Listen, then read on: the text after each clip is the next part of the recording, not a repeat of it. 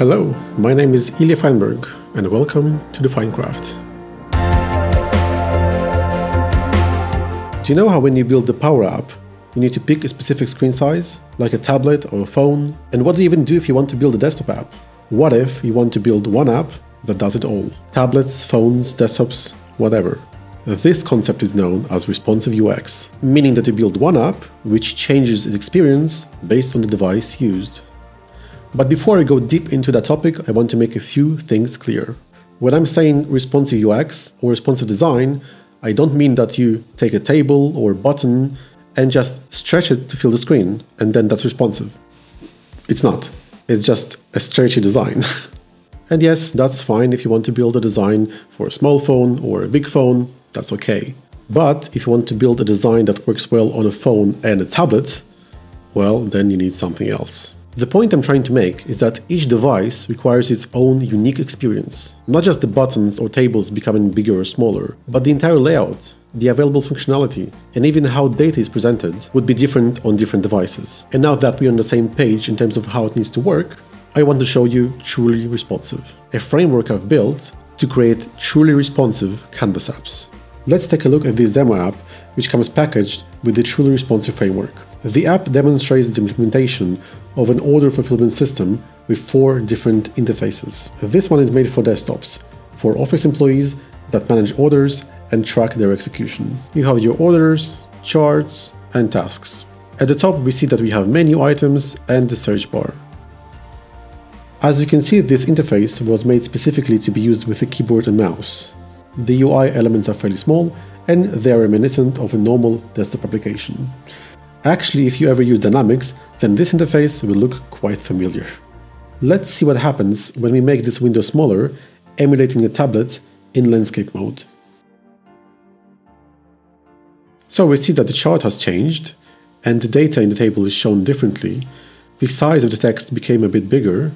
The menu is now touch-oriented, and it is located at the bottom of the screen. Even buttons here on the charts are different. This experience is now more consistent with usage on a tablet. Now it is also more tuned to the role of a warehouse employee which will work with a tablet. Okay, so that simulates a tablet in landscape mode. Let's go to portrait mode. Now we have basically the same interface but without the chart on the side. And now let's go to the final stage and make it font sized. Now I think we see the most drastic change. We still have the navigation here at the bottom, but it is smaller to account for the smaller screen width. The data is also presented entirely differently. It is presented in such a way that makes it easy to interact with on a small device on the go and provides the information that you actually need. So in this case, it demonstrates how someone working on deliveries in the field will actually be using the app. The information you need on the go is where to deliver, to whom to deliver, their phone number, and what you're delivering. And really, that's it. You really don't need much more than that. All right, that's good and all, but the question is, how do you build something like that? I'm glad you asked. So, as I said initially, the premise of the idea is that every device type has its own experience. And the way it's implemented here is that every device type has its own screen. You have a screen for desktops, you have a screen for landscape tablets, you have a screen for portrait tablets, and you have a screen for phones. The switching logic is done by a new component that I have built which is called The Watcher. Very dramatic. The reason why the first screen is blank is because this is where the watcher is placed. On application start, it decides where to route the user based on device type. If you open the tree, we can see that it is right here. Let's check out the properties. Debug mode shows the current window size and the device type detected by the watcher. The switching thresholds are taken from a global app property called size breakpoints.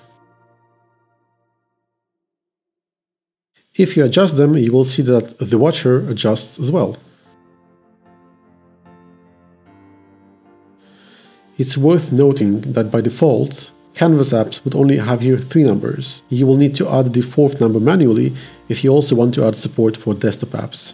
Typically, the watcher will monitor the size of the app continuously, but you can disable that by enabling fixed screen mode. Let's say you build an app with UX for phone portrait mode or tablet portrait mode. After the initial load, you don't need to change the app size anymore. In this case, you will use the fixed screen mode. Let's look at the rest of the properties. We have four references corresponding to each device type. The watcher will redirect the user to any screen that you define here. An important point to consider here is that for apps with a variable screen size or orientation, you need to place the watcher on every screen so the user can be redirected from any screen. Let's take a look at this test screen to see the watcher's debug mode. You see that as I change the window size, the watcher reports app size and selects the appropriate device type.